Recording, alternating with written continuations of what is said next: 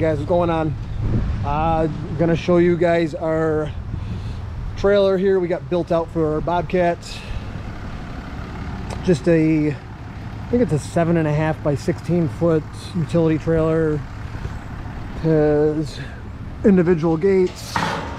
We put the um, gorilla lift assists on there. They're not yellow because we painted them red just because the whole trailer was black and red. Um, obviously the bobcat mt100 36 inch bucket. Usually keep the bucket up on this platform here.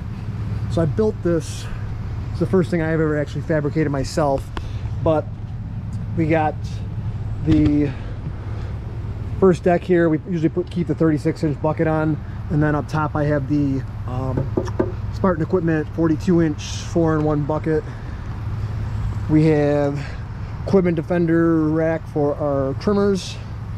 These are really nice expensive but nice. Everything's equipment defender on here too for our racks. We have all the gas can mounts two of the five gallon mounts and then one two and a half gallon mounts we have equipment defender tool racks which are awesome. Love organization and this is like definitely one of the things that keeps everything organized and out of the way and neat um, so we yeah keep our tools up there. Any, anything with like d handle hangs um, all the tools got they have six slots on each so you can put six hand tools in there.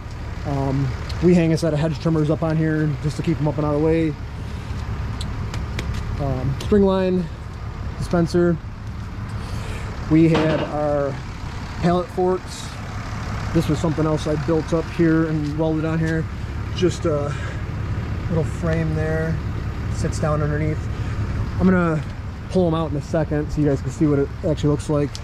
We have enough room for our 48 inch land plane to fit up here. It's very it's very snug. And it's kind of tight getting it in and out especially with the two and a half gallon tank right there. You got to be close to hitting that. Yeah everything has been pretty solid so far. So like on, an, on a normal day we can fit usually the pallet forks the land plane the 42 inch uh, four in one bucket the 30 inch bucket. And then I have this 52 inch uh, light material bucket it's a half yard bucket. We don't use it often but we could fit all of them on there. This one would have to be attached to the machine though. Or our stump grinder that we just ordered can stay up there with one of them one of the attachments can stay on the machine and we could still have two buckets the pallet forks and a land plane all on the trailer. Uh, what else we got? Oh we got our pack out. Th these drawers on the pack out are freaking clutch too. We just keep anything like string line levels stakes fence stakes pencil more string line marking paints we got the level. This actually didn't come from pack out. I ordered these little clips here for our four foot level on etsy. Someone 3d printed them yeah more stuff in here.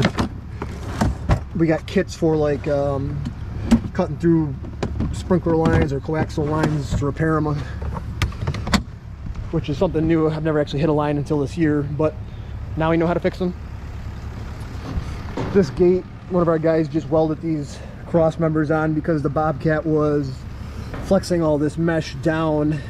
So we got some extra support on there which made a huge difference.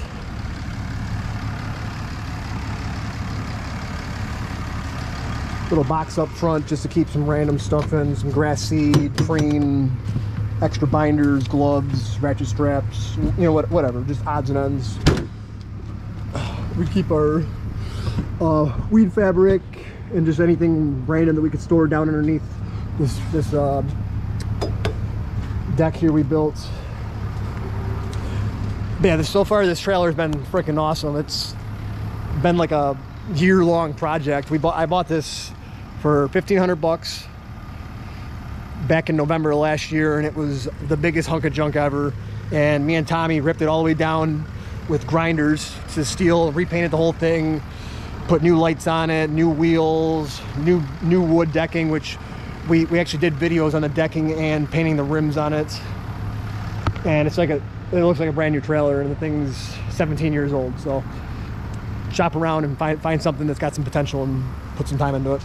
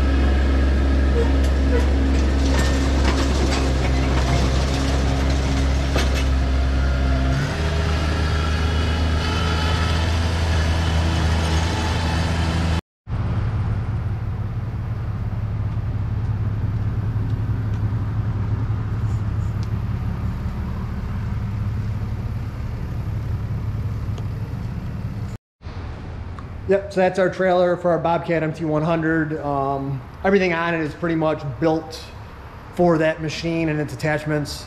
And it's not done yet. There's still things I think about every day that I want to add in or take out and adjust and make it better. The goal is to make it so that we can have every tool on site, and not have to go back and forth and back and forth, and just have everything with us. So if you guys have any ideas on what we should do differently or add on, comments, drop it below, like, subscribe, and stay tuned for more. Thanks, guys.